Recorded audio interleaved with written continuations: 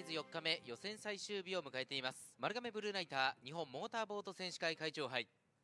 水面上は第6レースを選競争ナイタータイムカツカツ61号艇大神浩二2号艇長谷川千佳3号艇中辻隆人。4号艇岩永正人。5号艇川上清人。6号艇花本夏樹。以上6名の対戦です。企画カードに移っていきます。この6レースは原則1号艇3号艇4号艇に A 級レーサーが構えていきます。陰線となるのはその1人1号艇大神浩二です。ここはシリーズ2勝目といきたい1号艇大神のインコース戦。2コースには地元2号艇長谷川千佳はキャブレターを交換しての今日2走目。3コースにはここまでしっかり上位着並べて無事故完走を当確としている3号艇中辻隆人。ここまでがスローとなって引っ張って角の4コースに4号艇岩永正人。5コースには地元5号艇川上清人は勝負がけの一走となります。1着で得点率6.00に出します。そして大外6コース6号艇花本夏樹。3対3です。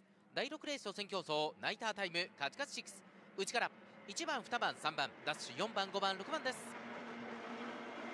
スタートしました。角4号スがトップスタート。4号艇岩永となっています。スリートコも出ようとしますが3号艇中津が先制まくりしかし1号艇とせる格好。空いた懐4号艇。そしてズバッといったのは5号艇。勝負がけの川上向こう上面に張ります。先頭独走体制。5号艇川上。2番手ですが内を救った6号艇。花本が優勢。外から2号艇1号艇追走となっています。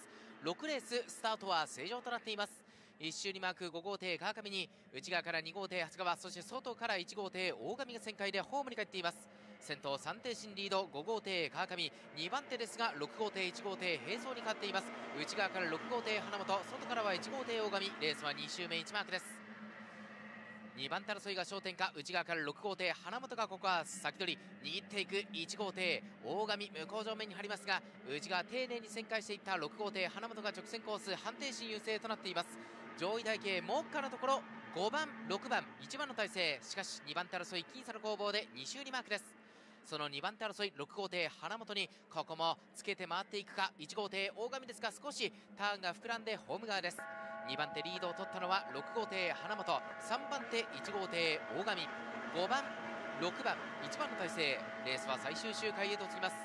1周1マーク展開捉えていきました。先頭は5号艇川上清人。2番手からは6号艇花本夏樹。3番手には1号艇大神浩二となっています。